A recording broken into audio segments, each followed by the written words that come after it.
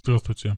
В этом уроке мы поговорим чуть более подробнее о таком понятии, как кредитное плечо на Форекс. Многие начинающие трейдеры почему-то сталкиваются с проблемой с пониманием кредитного плеча. У них э, есть какое-то недопонимание часто этого понятия.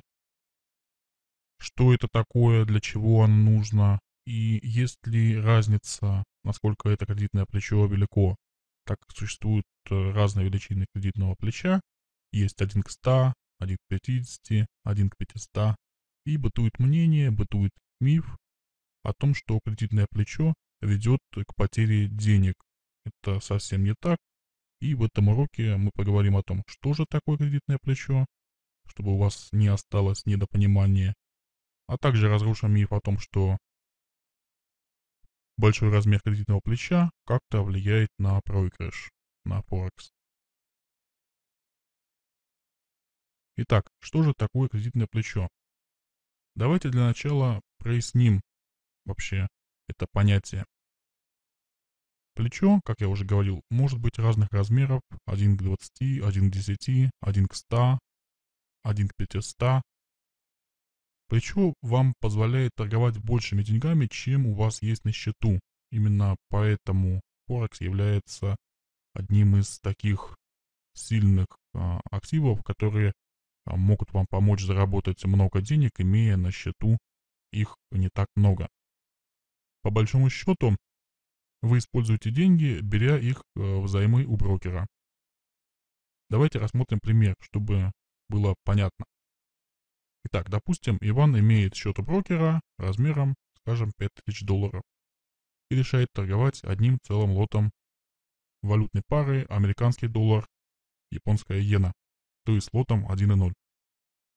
Для того, чтобы торговать одним лотом, Иван фактически использует торговле 100 тысяч долларов.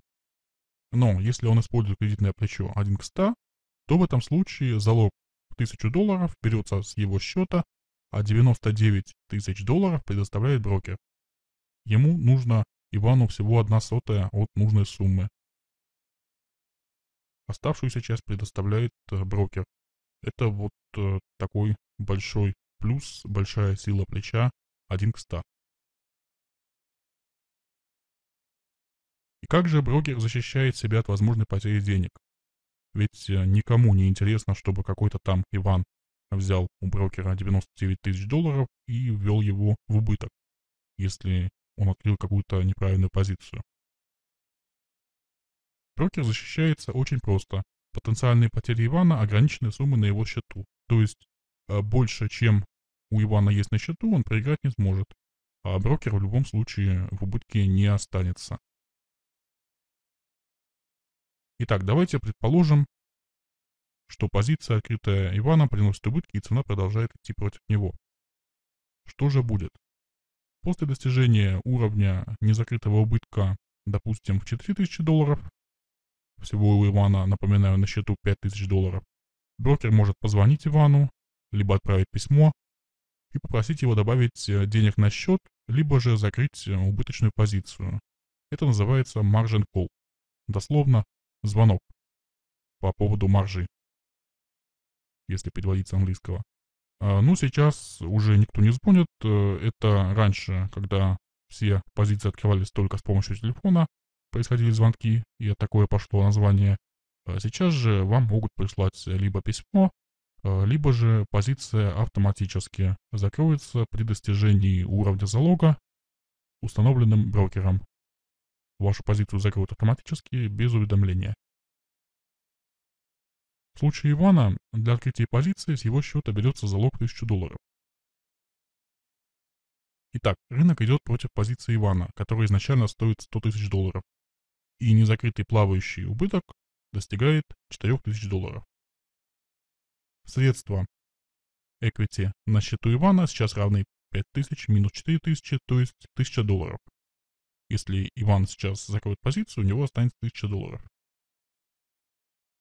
Когда средства на счету равны или же меньше требуемого для поддержания позиции залога, происходит margin call. У разных брокеров он может быть э, разным, но, как правило, это 20-50% от требуемого залога. То есть, когда средства на счету уменьшаются до, скажем, 30%, как я уже говорил, может быть разным этот уровень колебаться, от требуемого залога, происходит автоматическое закрытие позиции. Допустим, на счету Ивана сработал margin call. В этом случае, когда позиция закрылась, скажем, с убытком в 4500 долларов, ее стоимость составит 1000 э, долларов плюс 99 тысяч долларов, которые добавил брокер в качестве кредита и минус 4500 долларов убытка. Итого 95 500 долларов. Брокер возьмет все эти деньги, то есть заберет то, что он дал, плюс заберет недостающие 3500 долларов, чтобы вернуть 99 э, тысяч долларов, которые он одолжил трейдеру.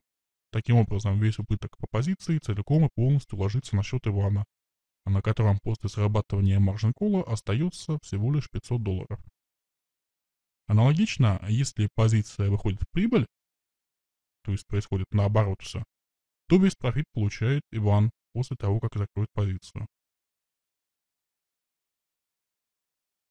Рассмотрим этот же пример, но уже с точки зрения получения прибыли. Допустим, Иван одалживает у брокера 99 тысяч, и 1000 долларов э, залога берутся с его счета. Открыл Иван лот 1.0. Эта позиция приносит прибыль 8 тысяч долларов, идет в сторону Ивана котировки. И когда позиция закрывается, у Ивана остается 99 тысяч долларов брокерских денег, своя 1000 долларов и 8 тысяч долларов, которые он заработал. Итого 108 тысяч долларов. По закрытии позиции 99 тысяч долларов брокер заберет себе обратно, 1000 долларов залога вернутся на счет Ивана, и плюс Иван получит прибыль в размере 8 тысяч долларов. Также перейдет э, прибыль на его счет. Причем за использование залога этого никаких дополнительных э, процентов, никаких комиссий с Ивана не берется. Это и есть кредитное плечо. Это обоюдоострый меч, который может вам помочь заработать очень много денег, а, либо же потерять их также очень быстро. Существует миф о вреде большого кредитного плеча. Что, мол, если кредитное плечо, допустим, 1 к 500, то это обозначает, что вы точно проиграете. А, это совершенно не так. Проиграете вы или нет, зависит от глупости трейдера. Давайте рассмотрим пример. Есть два счета. Один с плечом 1 к 100, другой с плечом 1 к 500. На обоих счетах мы открыли по одинаковой позиции. Допустим, покупка евро-доллара с лотом 0,1. Вопрос. А на каком счете больше риск? Как вы думаете? Ответ простой, риск одинаков, так как мы открыли одинаковую позицию по размеру. Допустим, мы проиграли 100 пунктов, что при лоте 0,1 сотая составит 10 долларов. Разве сумма проигрыша увеличится или же уменьшится от того, что у вас кредитное плечо 1 к 100 или 1 к 500? Никоим образом. Большое кредитное плечо позволяет открывать позиции большого размера при наличии маленьких средств на счету. Ни больше, ни меньше. Все. Больше у него никаких магических функций нет. Если вы используете адекватный уровень риска, разумно определяете размер позиции, то хоть у вас кредитное плечо 1 к 100, хоть 1 к 500, хоть еще какое-то, это ничего не меняет. Каком случае кредитное плечо, а, его размер именно существенен, если вы хотите превратить Форекс в казино, то есть открывать какие-то очень большие позиции, что э, в итоге оказывается ситуация пан или пропал, то есть все время идти в банк, тогда да, э, вам поможет кредитное плечо, либо же удвоить и троить свой депозит за день, либо же его проиграть сразу же. А также кредитное плечо, большое кредитное плечо, полезно при торговле э, советниками, использующими систему управления капиталом Мартингейл. Вот для советников на мартингеле уровень кредитного плеча часто бывает критичен. Это такие опасные советники, но этот курс не о советниках. О советниках мы подробно говорим в курсе Forex на автопилоте. Вы можете скачать его на нашем сайте tradelockerpro.ru. А, в этом же курсе мы сосредотачиваемся на основных понятиях, на начальных знаниях. Итак, большое кредитное плечо полезно при торговле советниками на мартингеле, а также если вы хотите поиграть в рулетку, открывая огромные лоты.